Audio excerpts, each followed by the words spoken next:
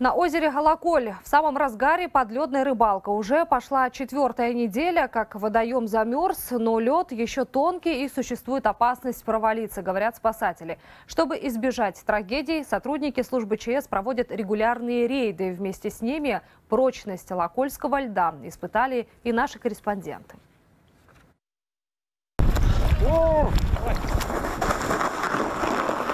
Отработка навыков спасения на льду ведется в любую погоду. Такие тренировки проходят даже в шквалистый ветер. Климат на Алаколе непредсказуемый, случиться может все.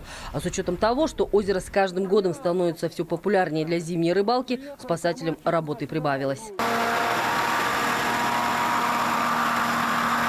Заядлый рыбак Михаил Черноножкин, несмотря на то, что возраст перевалил за седьмой десяток, фанат подлетки. Последние четыре года здесь, на этом участке, рыбалки не было. Рыба уходила глубже, говорит он.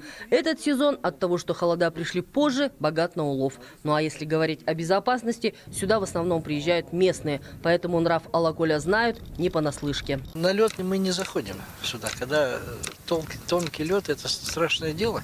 У нас ветер такой может дунуть то вправо, то с Айкан. Сейчас у всех же телефоны есть, и там показывает довольно-таки реально, когда, во сколько ветер начнется, какой силы. Поэтому в курсе дела. Сейчас рыбачить особенно опасно на заливе. Много ключевых источников. Есть риск попасть в полынью. С учетом этого спасатели проводят профилактические рейды.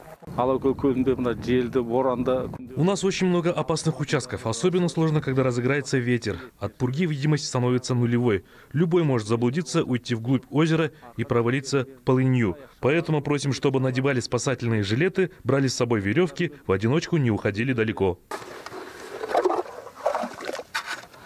Сейчас толщина льда на Алаколе составляет 25-30 сантиметров. Но по словам специалистов, он очень рыхлый. Поэтому рыбаки со своими снастями приходят сюда пешком. На машинах заезжать сюда очень опасно.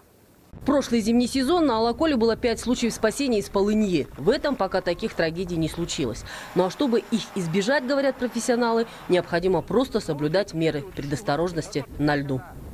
Гульнар Жантасова, Хуануш Тругенбаев, 24 КЗ, область Жицу.